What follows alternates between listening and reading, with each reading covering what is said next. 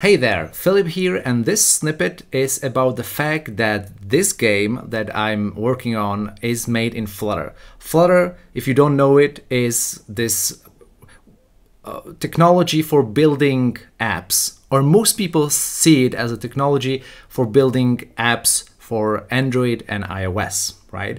And then they see this and they're surprised, why is this or how is this Flutter? Uh, I was reminded to that by my last video where people would be like, oh, it's absolutely bonkers to me that this is made with Flutter. And I've also seen people who, like, uh, I would show them this in real life, and they would also be, wait, this is not some kind of uh, a, a real game engine. This is Flutter, really? So I want to address that. I know that not all of you know what Flutter is, uh, and I actually don't want that to be true. This is not a channel for Flutter developers. I hope that's clear. I, I mean, there's many channels on YouTube that are much better at teaching you how to use Flutter, and that's that's great. I don't want to replicate that. I think I want this channel to be about the things that I do, be it with Flutter or otherwise. Obviously, because I spent so much time with Flutter in the past and probably will in the future, there's a lot of you out there, Flutter developers, who follow this channel, and that's fine. I, I, um, I hope that you feel welcome. I just don't want to make it I, I don't want to make this channel generally about Flutter. I will sometimes talk about Flutter, but not always, okay? And if you don't know what Flutter is, you're very much welcome. You're welcome here on the channel, okay? So Flutter is um, Actually, it's it's just a portable user interface toolkit. It's uh, a thing that runs on many different devices and can uh, uh, put pixels on the screen and reply to user events like clicks and touches and so on. So uh, why would anyone be surprised that I make a game with this? Because generally speaking, 99% I think of the Flutter projects that are out there are mobile apps. And so Flutter Flutter applications and just like Flutter projects generally have like, you know, the mobile app interface. They have this like nice big blue button or whatever, you know, and and a lot of uh, normal typography, lots, lots of pictures and rounded corners and all that, right? And then suddenly you show something like this, which is not that, right? This is this is very very different. It looks different, uh, but the thing is, and I want to like drive this home for especially for the Flutter developers out there in the audience. Flutter is literally just a portable UI toolkit. All it does, or all it should do, the core of its value is that it lets you create 2D user interfaces and as you can see, a little bit of 3D user interface as well, but user interfaces on screens wherever you are, and again, give people a way to react. So you shouldn't be, I, I hope that you're not surprised that, for example, this, right, you know, like this, for example, is Flutter, right? This is just 2D thing. Yes, it looks different than a mobile app, but it shouldn't be surprising to anyone that this this this actually works right? What i think a lot of people are uh, kind of uh, thrown back with ugh, my english is the all these um, 3d things that you see to the left and to the right right? And uh, let me let me show another one like this one. Uh, that's 3d right? And how is uh, how is flutter which is only doing 2D, and it's it's uh, it was naturally meant for 2D apps. How is this drawing 3D?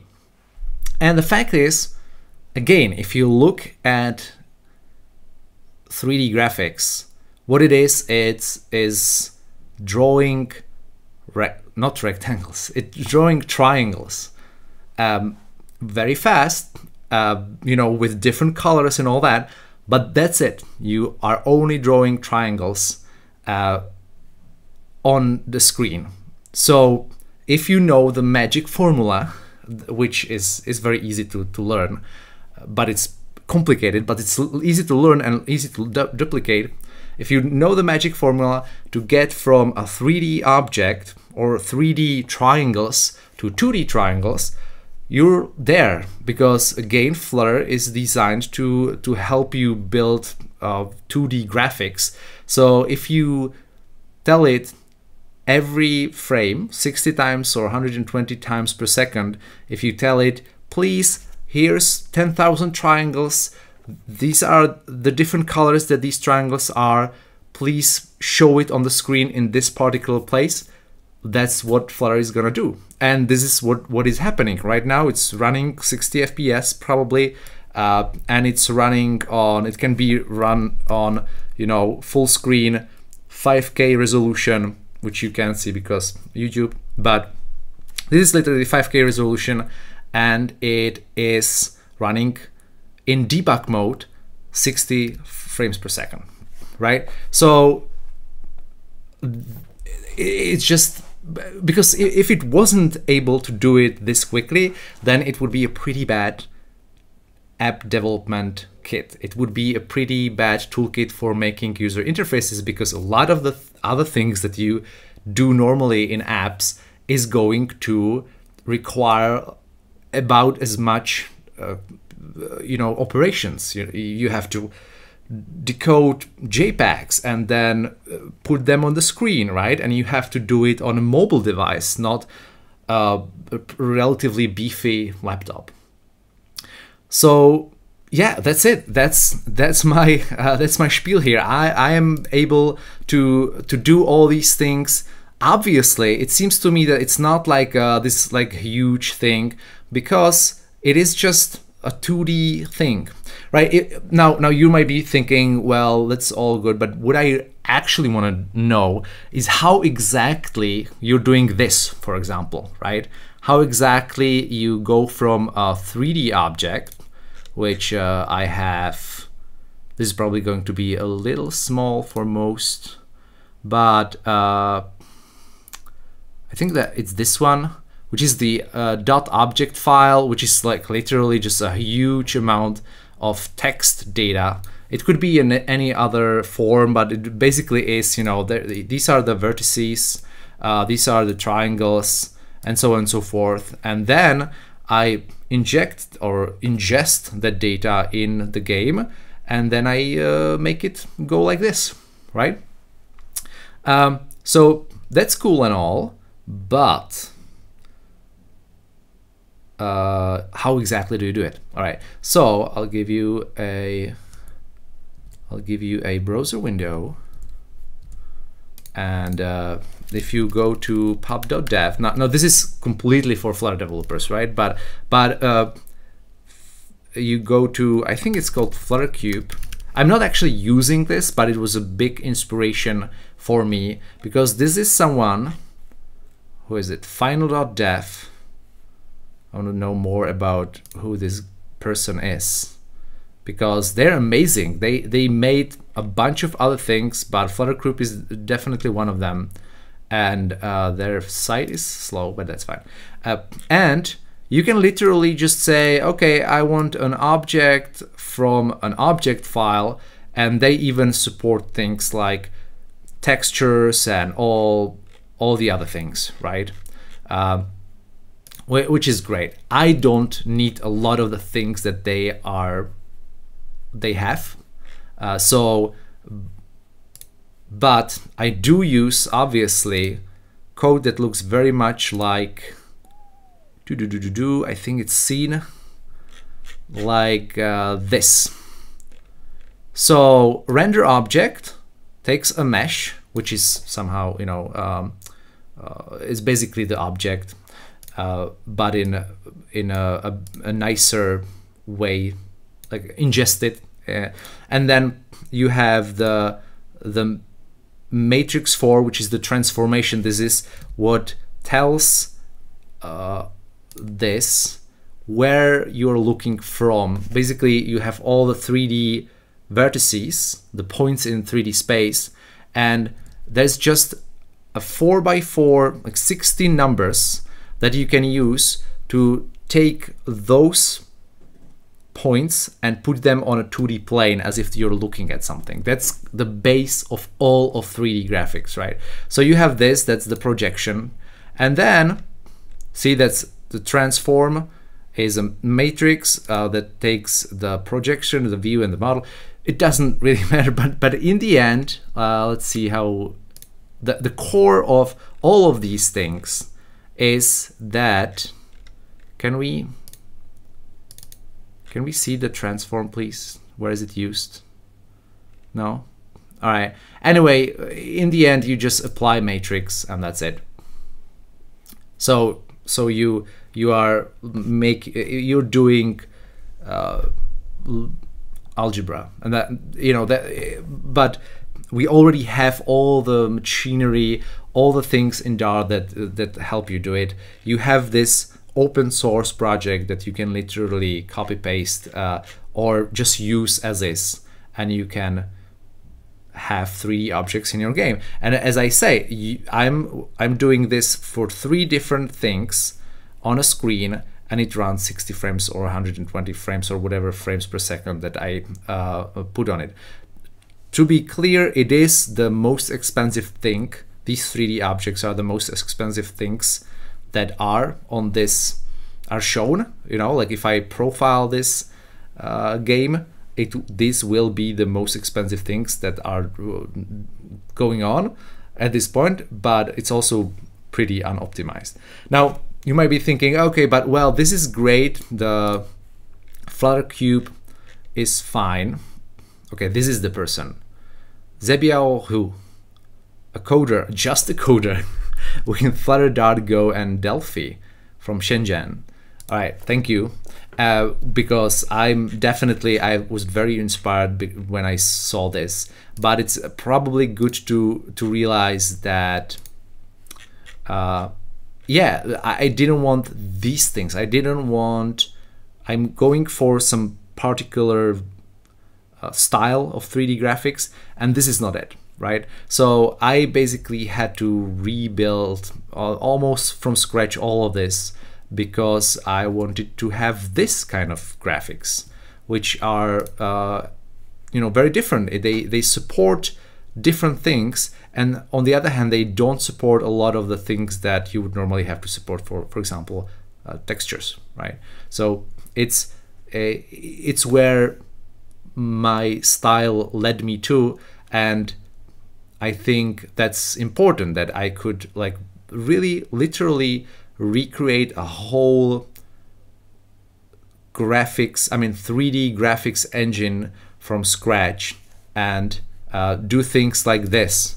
Uh, if you if you look on the right side, uh, how it kind of renders from the top, this is something that you would be, I think, hard pressed to do in any other 3D engine, but but for me it was very easy because I do all the triangles myself. I draw all the triangles myself.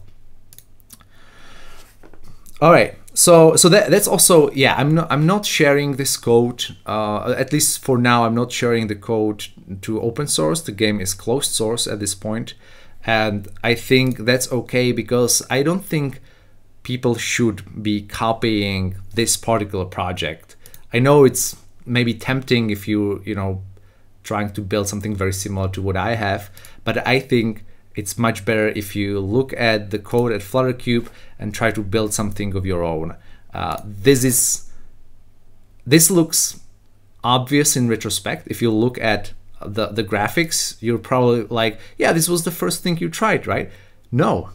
Uh, there was a lot of back and forth where I thought, okay, maybe it should be like green. Maybe it should should be textured. Maybe I should draw lines and not, you know, maybe how exactly do I do the flicker? See the flicker there? You know, all of these things are little micro decisions that you have to make and they all matter and they will be different for different projects. So that's why I'm not uh, saying that you should uh, you should do any of that. Deploy turret. All right, so that's about it. Uh, so the next question that was very kind of uh, closely related to the one of wait, are you really making you know a game in Flutter? Is all right. I mean the the the original question I tried to answer was like, uh, how is this possible that it's Flutter? I hope that you realize now that it's not really that weird. Uh, you know, it's it's just uh, an app basically that is mostly made in uh, 2D. You know, but a related question is, wouldn't you be much more successful or faster if you used something like Unity or Godot, Godot, or whatever you call it, or Unreal, or something that is clearly a game engine?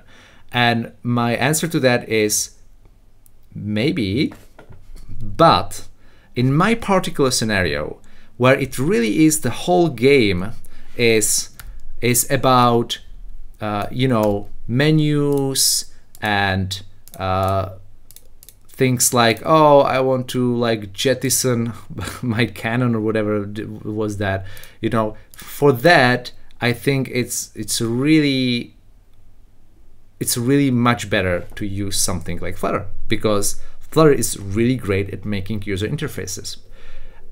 And because all I need is these 3D objects that are very clean and very just kind of stand alone and very 70s graphics style, then uh, that is a great, for me, it's, it's a very good uh, technology to use.